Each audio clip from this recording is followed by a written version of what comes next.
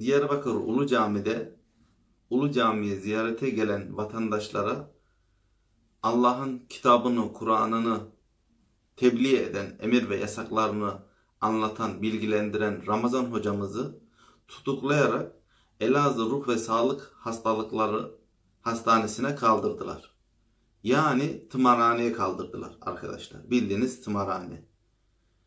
Şimdi Ramazan hocamızı delilikle suçlayıp deli damgası vererek onun imajını, onun konumunu zaten kendisinin herhangi bir konuma, herhangi bir istediği, herhangi bir maaşı ya da bağlı olduğu bir kurum, bir dernek hiçbir şey olmamasına rağmen bazı konuşmuş olduğu sözlerini de aşağılayarak delilikle hitap edenlerin gerçek deli hani gerçekten raporu da var diyerekten ona deli yaftası yapmaya, vurmaya çalışıyorlar.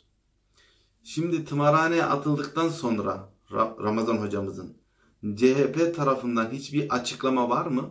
Hiçbir sahip çıkma, hiçbir eleştiri, hiçbir açıklama, kınama bir şey var mı? Duyuyor musunuz? Yok.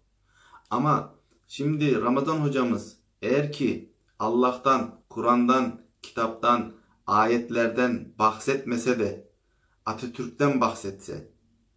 Atatürk'ten bahsedirken de normal Atatürk'ten hani çıkar amaçlı hani Yılmaz Özdil'in yazmış olduğu kitabı 2500 liraya satıp da kaçak villalar parası kazanan Atatürk'ün sırtından para kazanan kişi olarak Erdoğan'a küfür eden, hakaret eden kişi olarak veyahut da PKK sempatizanı olarak hani orada Güneydoğu'daki o belediyeler var ya PKK'ya yardım ve yataklık yapan o belediyelere kayyum atanıyor da hani koşturarak gidiyorlar ya ha onlar gibi onların yandaşından olsaydı şimdi CHP ne yapardı? Hop oturur hop kalkardı. Bütün milletvekillerin hepsi destek amaçlı ortak tweet paylaşırlardı. Desteğe giderlerdi. Cumhurbaşkanı Erdoğan diktatör. O attırdı içeri. Onun emriyle atıldı. Bakın Türkiye'de özgürlük, demokrasi yok. İnsan haklarını kimse savunmuyor. İnsan kendi yani özgür iradesiyle konuştu diye kimseye zarar vermedi. Kimseyi rahatsız etmedi. Kimse de maddi, manevi, para, pul, ev bir şey istemiyor.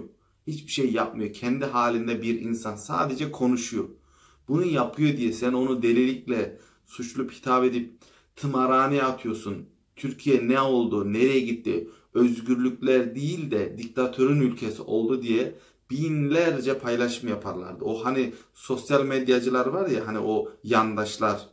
O gruplarda milyonlarca paylaşım yapıp Erdoğan'ı al aşağı al yukarı al aşağı al yukarı binlerce tweetler atarlardı. Facebook kilitlenirdi. Eğer ki konuşan o Ramazan Hoca değil de bir APO, bir PKK taraftarı, HDP veyahut da CHP taraftarı olsaydı. Bakın İzmir'de camilerde Çavbella şarkısı okundu. Selda Bağcan'ın şarkısı çalındı. CHP'liler yaptı. Hiçbir CHP'li çıkıp da ne kınadı ne bir herhangi bir paylaşımda bulundu ya da ne ne de dinimize saldırdılar diye herhangi en ufak bir açıklama bile yapmadılar. Şimdi seçim zamanı geldiğinde ne yapıyorlar? Ellerine Kur'an-ı Kerim alıyorlar. Birisi Yasin okuyor. Birisi her gün cuma namazı kılıyor. Ekrem İmamoğlu günde 3 kez 4 kez iftar yemeğe iftara katılıyor. iftar yemeğine. Yani din yani seçim zamanı sadece sömürme. Hani dinden besleniyorsunuz. Dini suistimal ediyorsunuz. Dini kullanıyorsunuz. Erdoğan kullanıyor diyor ya. Ramazan ayında Erdoğan Kur'an-ı Kerim okudu, hatmetti diye kaybetmiş olduğu oyları geri kazanmaya çalışıyor diye böyle yalan yanlış iftiralar, imaj sarsıcı, çamur at izi kalsın gibicesinden iftiralar atıyorsunuz ya. Recep Tayyip Erdoğan zaten bu hükümeti kurmadan önce AK Parti'yi okumuş olduğu dini bir şiir yüzünden hapse girmişti. Zaten Erbakan hocanın İstanbul imamiydi zaten. İnsanlara namaz kıldırıyordu. Zaten kendisi hafız bir insan. Kur'an-ı Kerim ezbere bilen dinler bir insan.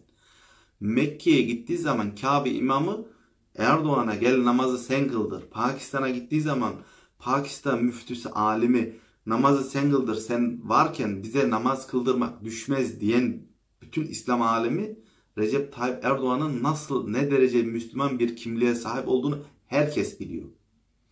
Ama gel gör ki bu CHP ne yapıyor? Erdoğan ve AKP'liler İslamiyet'i kullanıyorlar. Onu dini sömürüyorlar. Dinden siyaset yapıyorlar diyorlar. Halbuki Erdoğan dini yaşıyor. Onlar onlar kullanıyorlar. Onlar dini sömürüyorlar, siyasete alet ediyorlar. Seçim zamanı başörtüsü, Kur'an, kitap, ayetel kürsü ilk ben ezberledim. Yok her gün cuma namazı kılardım. Bir iki camide poz veriyorlar seçim zamanı. Seçim bittikten sonra vur rakı bira şaraba hesabı. Ondan sonra balıktır. Yok Antalya'da, Bodrum'da tatil. Yok Palandöken'de tatil. Yok Avrupa'da tatil. Adam İstanbul'a gelmiyor. Güneydoğu'daki kayyum atanan belediyelere halay desteğine gitmekten. Elazığ'da deprem oldu. Elazığ depremine oradan geçerken uğradı. Oradan hemen Palandöken'e gitti. Beyefendi. Hemen anında. Şimdi Ramazan hocamız şu anda Elazığ'da ruh ve sinir hastalıkları hastanesinde tedavi görüyor. O kadar telefon açmamıza rağmen kesinlikle kendisiyle görüşemedik. E, validen de herhangi bir haber açıklama alamıyoruz.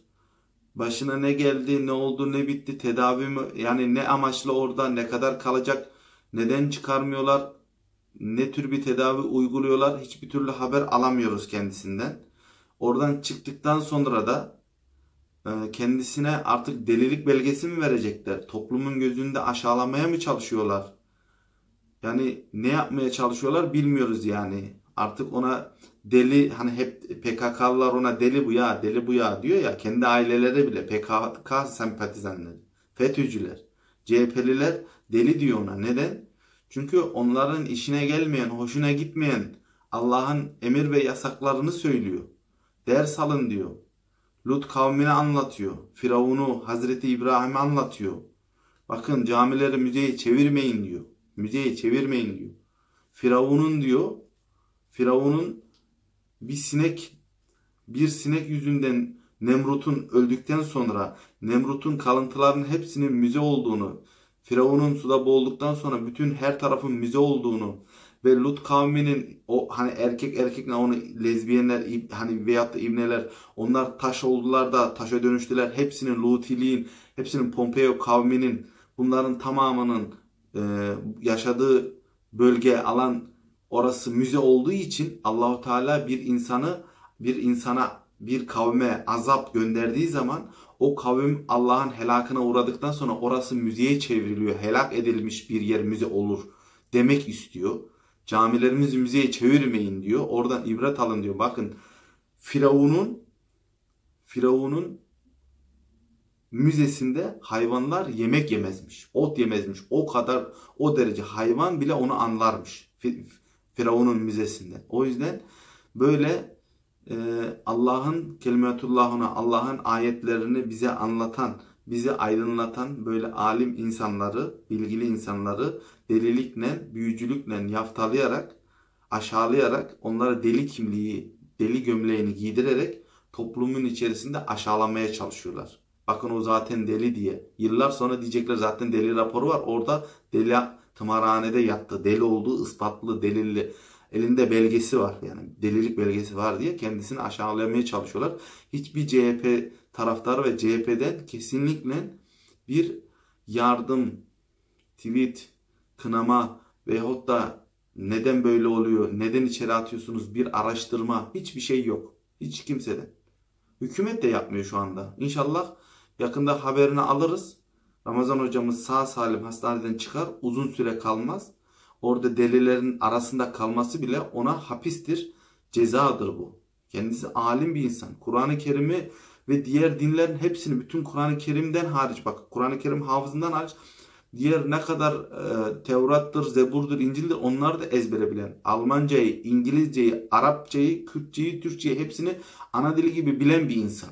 Böyle bir insana delidir diye hastaneye atmak büyük bir ya büyük bir siyasettir ya da onu atanların kendisi delidir. Çıkarları zedelendiği için onu oraya atıyorlar, attırıyorlar. Çıkar meselesi var işin içinde. Bu yüzden Ramazan hocamızın yanındayız. Asla bu olayın peşini bırakmayacağız. Sonuna kadar araştıracağız. Telefonlarımıza çıkmasanız da Ramazan hocanın akıbetini paylaşmasanız da biz bunun peşini bırakmayacağız. Sonuna kadar Ramazan hocamızın yanındayız.